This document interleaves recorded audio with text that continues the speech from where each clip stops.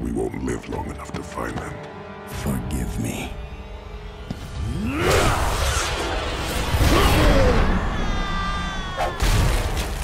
Welcome to Mojo Plays, and today we're counting down our picks for the comic book characters that we feel deserve their fair shot in the gaming sphere.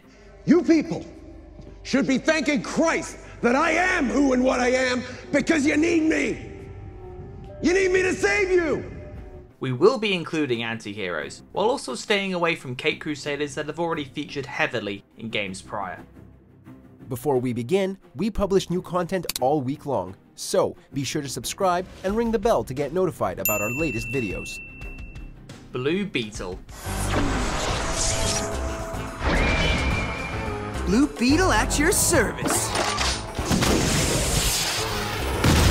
Jaime Reyes seems to finally be getting the spotlight he deserves, what with him entering James Gunn's DC universe, while also being a major supporting character in numerous animated projects. Sure, he was pretty slick in Injustice 2, but how about letting him headline his own game?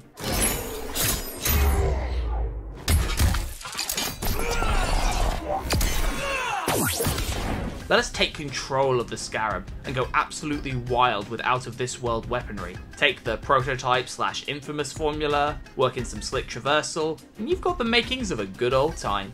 Oh, and uh, keep the Buster Sword.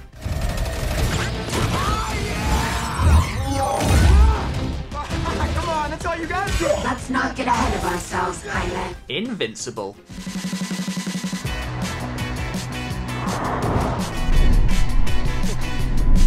Yes, we know Invincible guarding the globe exists, but how about giving one of the hottest heroes on the block a legitimate video game? Robert Kirkman's grounded take on the superhero genre remains beloved to this day, due to the flawed nature of its heroes, the grit of the world they inhabit, and a whole heaping helping of brutal violence.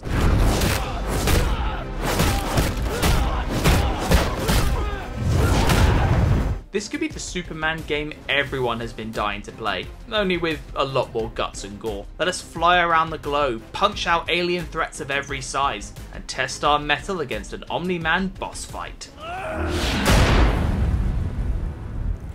Please.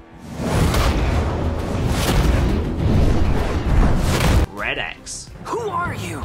If I wanted you to know that, would I be wearing a mask? Look, Red Hood had his time to shine in Gotham Knights, so why not let an adjacent version have a go in the gaming scene? Made famous in the beloved Teen Titans cartoon before making his comic debut in Teen Titans Academy, Red X is a thief with nearly every gadget imaginable at his disposal, and twice the amount of puns. He's also got something of a moral compass that he adheres to when the chips are down.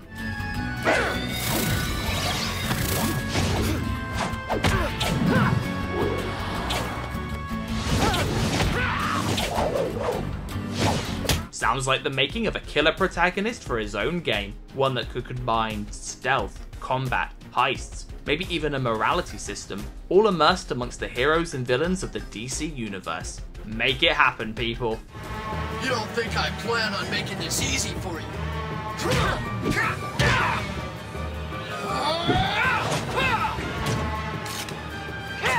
Agent Venom.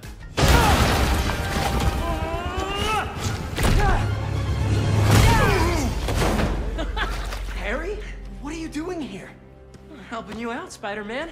Insomniac's Spider-Man 2 teased this version of the webhead's greatest foe, but now it's time for the real thing. Whether it's Flash Thompson in control of the symbiote or another stand-in, let us gear up and take on the missions too shady for Spidey to handle. Given that he's a soldier first, playing as Agent Venom could allow for a blend of hard-hitting web action as well as gunplay. Less Call of Duty, more Devil May Cry.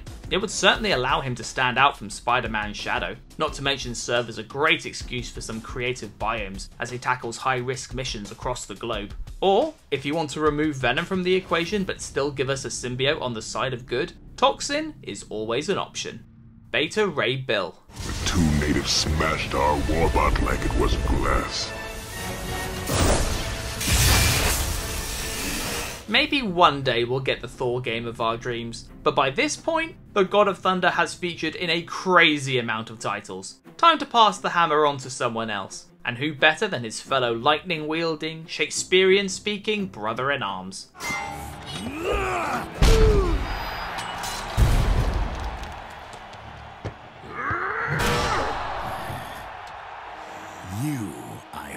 Is about killing.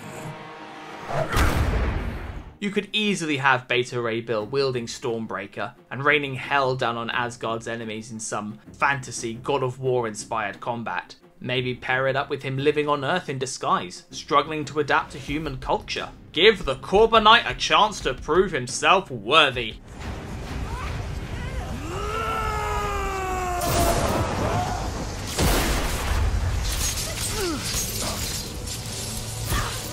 Savage Dragon.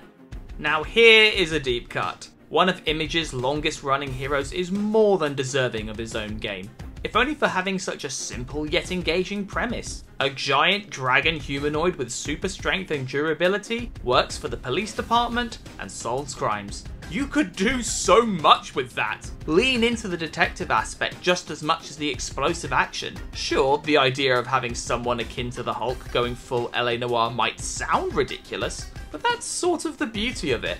The man's been around long enough to at least deserve a shot at gaming credibility. The Boys.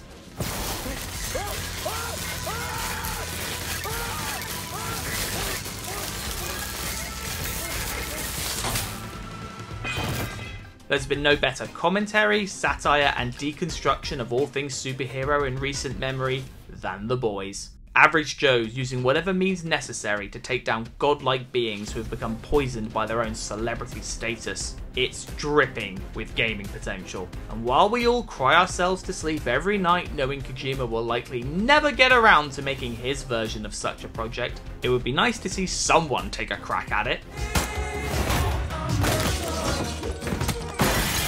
The possibilities are shockingly vast. The gameplay loop of locating and analysing a supe's weakness, the tension of confronting them with nothing but wits and weaponry, and the satisfaction of taking them down. Just please don't make Herogasm a story mission.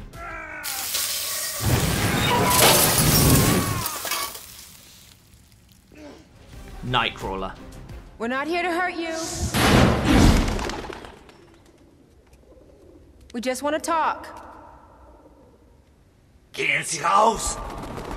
We all know that another X-Men game will be coming around before this console generation is done, but who knows which members of the team will make the cut? If there's one among the roster we'd like to see have a chance to strut his stuff solo, it would be the devilishly dapper gentleman with a knack for teleporting. The combat potential for Nightcrawler, especially if you pair him with his iconic swords, would be incredible. If you want to take it one step further, he is technically wearing the mantle of Spider-Man these days, so do with that what you will.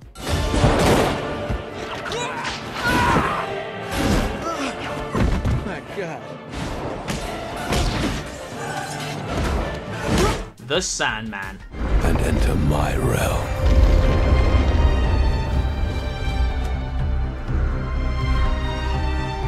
For I am the king of dreams.